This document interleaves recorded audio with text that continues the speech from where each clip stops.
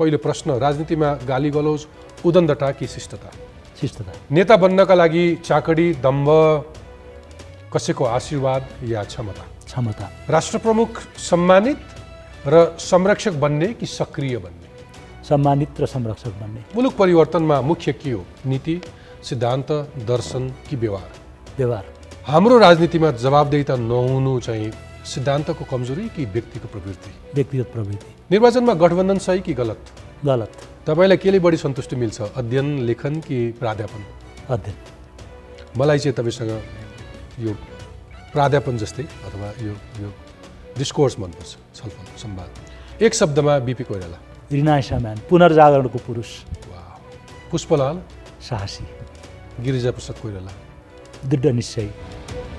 मदन भण्डारी। क्षमताको कुरा गरिएको तर परीक्षण नभएको। विद्यादेवी भण्डारी। समयको उपज। डाक्टर रामवरण यादव। कसीबाट खारिएको मान्छे। प्रधानमन्त्री शेरबहादुर देउवा। उहाँको बारेमा केही नभनौँ। शब्द भेट्नु भएन। डिफिकल्ट। केपी शर्मा ओली। दुस्साहसी साहस तर दुस्साहसी पुष्पकमल दाहाल विश्वसनीयताको कमी।